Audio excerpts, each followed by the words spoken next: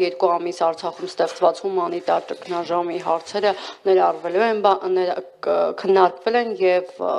արդյոք հնարավորություն կար այդ հարցը ներառելու բանաձևում։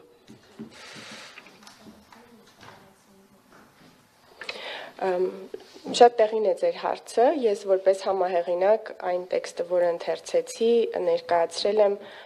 դեկտեմբերի 16-ին վերջնաժամկետը զեկույցի այդ ժամանակ էր եւ այդ ժամանակ դեռևս հստակ չէր, որ փետրվարի 19-ին, 20-ին, 21-ին տեղի ունենալիք նիստերում նիստերի ժամանակ դեռևս ակտուալ կլինի Լաչինի Միչանցկի փակ լինելը հետեւաբար դրա մասին ձևակերպում չեմ ներառել որպես համահեղինակ այնուհետև մենք որպես փոփոխություն առաջարկել ենք նաև դա ներառել հղում կատարելով, քանի որ հիշեցնեմ, որ Եվրանես խորհրդարանական վեհաժողովը բաղկացած է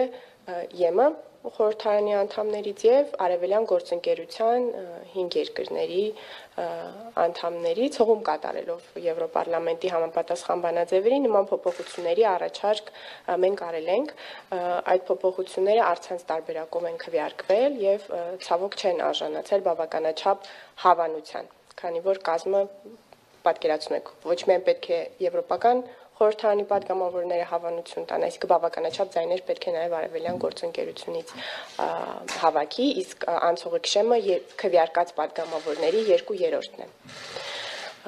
Եվ այդ այսպիսով բուն բանաձևում նման ձևակերպում ցավոք տեղ չի գտել, սակայն բնականաբար Հայաստանի պատվիրակության բոլոր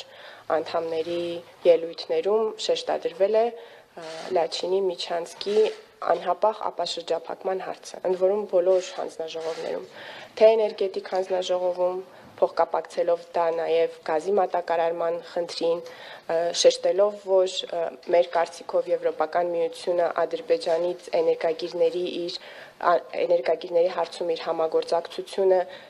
ըստ մեզ պետք է հիմնի նաև մարդու իրավունքների ժողովրդավարության եւ տարածաշրջանում խաղաղության հարցերի հետ։ Այսինքն ելույթների միջոցով բնականաբար մենք դրանք շեշտադրել ենք, բայց բանաձևում նման ձևակերպում տեղ չի գտել այսքանը։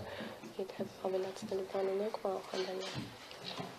Չէ, ուղղակի հստակության համար կազմը երկրներով ասենք, հա, Եվրանեստում Եվրոպական պարլամենտն է կեսը անդամների, մյուս կեսը Հայաստան, Ադրբեջան, Վրաստան, Մոլդովա, Ուկրաինա։ Եթե մենք Եվրոպարլամենտի падգամավորների աջակցությունը ստացել ենք արցանց քվեարկության ժամանակ, ապա մեր առաջարկներին միայն այս 5 երկրներից Հայաստանի падգամավորներն են կողմ քվեարկել։ Եվ 2/3-ի շեմը այդ պատճառով հնարավոր չի եղել հաղթահարել եւ այդ պարագայում է մի հստակեցում արևելյան գործընկերության երկրները. Բավական է որ ձեռնպահ քվեարկեն, այսինքն ոչ թե դեմ քվեարկեն Հայաստան, այլ ընդհանրապես հարցին ձեռնպահ քվեարկեն եւ դրանից արդեն քվեարկության արդյունքները փոփոխվում են սլայդում։ Այսինքն այս ֆորմատում արդյունքի հասնելը բավականին դժվար է։